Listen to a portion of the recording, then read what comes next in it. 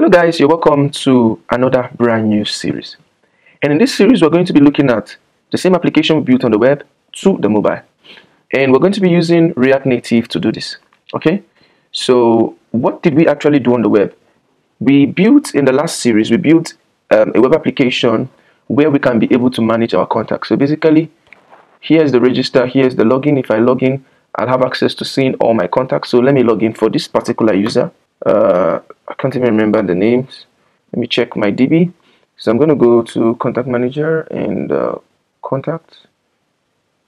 And we have messi at gmail.com, not contacts, users. Desmond at gmail.com, password of password. So I'm going to log in with this user. Desmond at gmail.com, password of password. Login. And yep, Desmond has one contact. Um, I can go on to add a new contact for Desmond.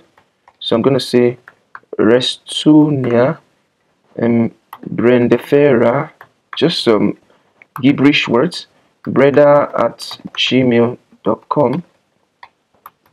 And um, phone number is this. And um, now if I click on add contact, contact saved successfully. Now if I head over to view contacts, you can see that that new contact has been added. And I forgot to add an image, so we can go over to edit. And in edit, I can choose a file. So I'm going to choose, let's see, let's see, let's just pick this image. Oh, I don't know if I have this image, so let's choose Kun Aguero or Lionel Messi open. And I can, contact has been updated successfully. Now if I go back to view contacts, you're going to see that image there. I can also search for a contact, Restonia.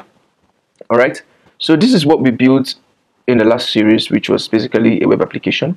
So we want to translate this same thing down to mobile. So basically down to um, React Native or basically down to a mobile application. And we're going to be doing this using React Native. So let me just log out and get back to here. So what and what are the things that we are going to be looking at? Let me log in here.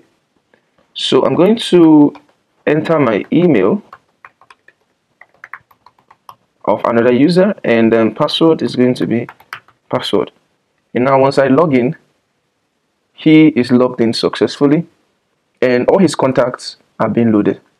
So you can see now that we can view all the contacts.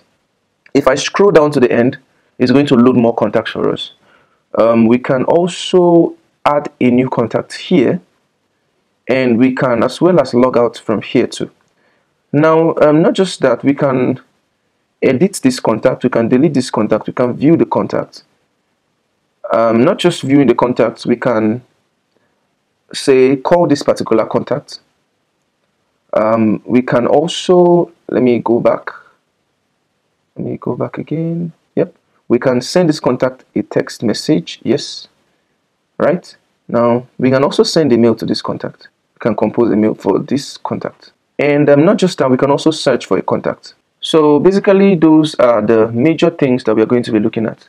So for this series, I'm going to be using React hooks a lot of the times because in the last series, I used React um, class-based components, and I got a lot of comments of people talking about using hooks.